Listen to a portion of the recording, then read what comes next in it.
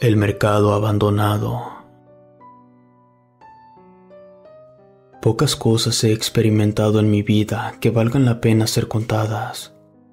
Desafortunadamente, la historia que estoy a punto de relatar es una a la cual no le hemos logrado dar explicación, ni yo, ni las personas que presenciamos los acontecimientos aquella noche. Lo único que me queda claro es que existen lugares que atraen de manera irremediable a entidades malignas, las cuales, si no andas con cuidado, logran atraparte y causarte daño. Hace un par de años, un ex compañero de la preparatoria me invitó a formar parte de una banda de rock. Comenzamos ensayando en su casa, hasta que sus padres terminaron fastidiados. Duramos un tiempo rentando salas de ensayo. Todo aquel que sea músico sabe que esto no es algo económico. Nos desanimamos un tiempo, incluso yo dejé de asistir a los ensayos, hasta que un día me visitó un amigo para decirme que nos prestarían un lugar para poder ensayar. Lo acompañé a ver aquel lugar. Se trataba de un local dentro de un mercado abandonado. Muchas veces pasé frente a ese lugar y jamás pensé que alguna vez hubiera sido un mercado pues este se encuentra en una zona un poco escondida, justo enfrente del coto donde vive mi amigo, pues algunos estaban casi a pie del barranco, además que no estaban distribuidos de manera continua, sino en formación dispersa, muy alejados unos de otros. Aquel lugar daba la impresión que jamás habían sido usados. Caminamos hasta llegar a un local hasta el fondo, el cual contaba con una pequeña puerta. Mi amigo sacó otra llave para abrir la cerradura. Entramos. Era una especie de patio techado que daba una vista al barranco. Omar, mi amigo, comenzó a mostrarme que ya estaba acondicionado el lugar. Había colocado una alfombra y una tarima. Ahí ya tenía armada la batería. Algunos pósters adornaban las paredes. Me sentí entusiasmado, pues el lugar me agradaba.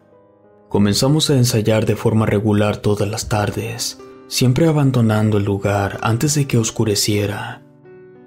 En un principio no notamos nada extraño, sin embargo, a partir de la segunda semana, comenzamos a descubrir cosas extrañas. Algunos huesos de animales, pedazos de ropa, incluso algunos pájaros muertos con algunas fotografías amarradas. Parecía como si alguien estuviera haciendo brujería. Al principio no deseábamos tocar aquellos objetos, simplemente retirábamos todo con una escoba, pero después de varios días de estar encontrando lo mismo, la curiosidad nos ganó, por lo que comenzamos a revisar las fotografías. Esto nos asustó muchísimo, pues en algunas aparecía mi amigo Omar, en otra una de sus hermanas, Sandy, esto nos dejó perplejos. Continuamos revisando las fotos. Justo detrás de ellas, en la parte blanca, estaban escritas ciertas peticiones al diablo. En el caso de la fotografía de Sandy, pedían que ella muriera, algo así como que pierda el gusto por la comida, que muera delgada. Después seguían una serie de palabras que no me atrevo a repetir, pues siento mucho miedo ante esas situaciones. He de confesarles que Sandy, la hermana de Omar, sí estaba atravesando una serie de problemas con su alimentación, cosa que se notaba mucho en su aspecto, pues su rostro estaba muy demacrado. Intentamos seguir revisando el resto de fotografías, a lo que Omar nos pidió que paráramos y que limpiáramos todo. Noté un cambio en su actitud. Él suele ser muy alegre y bromista, cosa que cambió de inmediato. Estaba muy serio y pensativo. Intentamos seguir ensayando sin lograr llegar a nada. Parecía que no lográbamos concentrarnos. De pronto, Omar nos pidió que nos retiráramos. Pasaron algunos días sin que nos volviéramos a juntar para ensayar. Comencé a perder el interés, aunque me sentía preocupado por un amplificador que dejé en aquel lugar. Así que decidí llamarle por teléfono. Tuve que marcarle varias veces ya que no contestaba. De hecho, terminó por contestarme su hermana Sandy. Ella me dijo que Omar se encontraba un poco mal, que quizá le haría sentir mejor que lo visitara. Vivimos muy cerca y me dirigí a su casa de inmediato. Justo cuando llegué, Omar estaba fuera de su casa, se encontraba fumando un cigarro. Yo lo noté normal, nuevamente lucía alegre, bromista como siempre. Después de platicar un rato, me pidió que lo acompañara a recoger los instrumentos que habíamos dejado en el local del mercado. Llamó por teléfono a otro miembro de la banda, quien no tardó en llegar. Después se nos unió Sandy y caminamos rumbo al mercado. Entre todos sería más fácil el traslado del equipo. Entramos al mercado y percibimos cierto olor desagradable, algo parecido a los inciensos que ponen en los templos. Llegamos al lugar donde dejamos todo. Los instrumentos seguían donde los dejamos, aunque todos los pósters con los que adornamos el local fueron arrancados y la alfombra estaba empapada en un líquido de olor asqueroso. Afortunadamente, ninguno de los instrumentos estaban conectados. De hecho, para activar la energía eléctrica se tenía que levantar una palanca en la entrada, y no lo hicimos. No aguantamos el asco y comenzamos a desarmar la batería, cuando de pronto, dentro del mercado, escuchamos como si alguien azotara unas láminas de acero. Esto ocasionó que todos nos asustáramos. Comenzamos a preguntar sobre quién había cerrado la puerta. Sandy respondió que ella se encargó de ponerle seguro al portón. Decidimos salir a revisar. Solo íbamos Omar y yo, pues Sandy tenía mucho miedo y el otro chico se quedó con ella en el local. Acordamos dirigirnos directamente a levantar la palanca de electricidad, pues el lugar era muy oscuro y sería imposible ver si alguien estaba escondido. Mientras caminábamos, le preguntaba abiertamente a Omar acerca del por qué decidió abandonar el proyecto, pero no me quiso responder. Encendimos la luz y justamente después de hacerlo, escuchamos a Sandy gritar. Corrimos de regreso. Sandy estaba llorando tapándose los ojos y el otro chico se encontraba tirado frente a ella convulsionando. Rápidamente le puse un lápiz en la boca para evitar que se mordiera la lengua. Sandy se abrazó de Omar y escuchaba que entre lágrimas le decía que había una bruja. Una vez que Sandy se tranquilizó y pasó la convulsión del chico, intentamos preguntarles qué había pasado. Sandy nos dijo que vieron una bruja frente al mercado. Omar y yo le preguntamos que cómo sabían que era una bruja. Ellos respondieron que eso parecía. Después nos indicaron la zona donde la vieron. Era un lugar elevado, una especie de montículo en el barranco afuera del mercado. A esa hora aún había luz del sol, aunque ya no tardaría en oscurecer.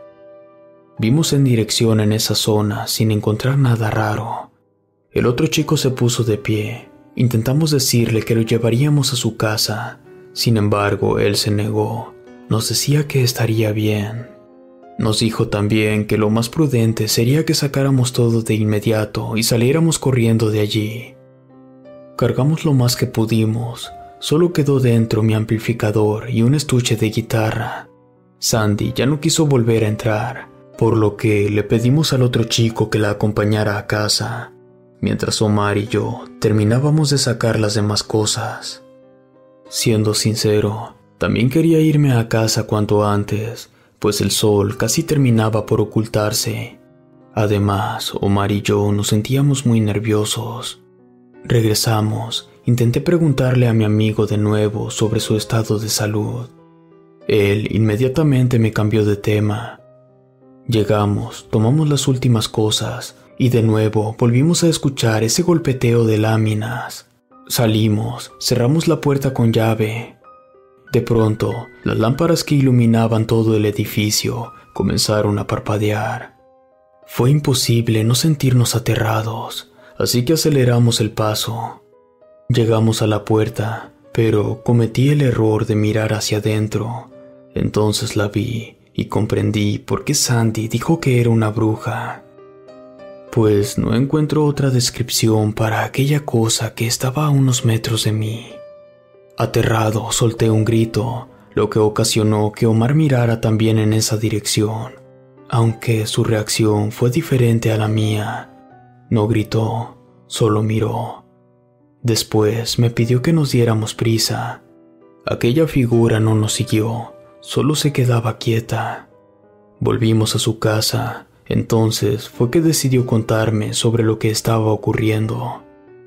Comenzó por preguntarme si había leído lo que venía en la fotografía que encontramos en el mercado. Yo le respondí que no. Me dijo que se encontraba enfermo, que era una especie de tumor cancerígeno que no tiene cura. Alguien me deseó la muerte, me dijo. También me contó que, desde que miró su foto amarrada al pájaro muerto, no dejaba de soñar con la bruja que habíamos visto dentro del mercado. No supe cómo reaccionar, Terminé por decirle que contaba conmigo por cualquier cosa. Mi amigo Omar y su hermana Sandy se fueron a vivir a Atlanta. Yo soy de Querétaro, México. Lo último que supe es que Omar se encontraba grave en un hospital. He pensado mucho en ellos, intentando resolver quién pudo haberles hecho tanto daño. Algunas veces por las noches me levanto asustado pues tengo pesadillas con aquella bruja y enseguida me pongo a rezar, sobre todo en nombre de mis amigos, esperando que el daño que les causaron en aquel mercado solo haya sido físico y su alma inmortal continúe incorrupta.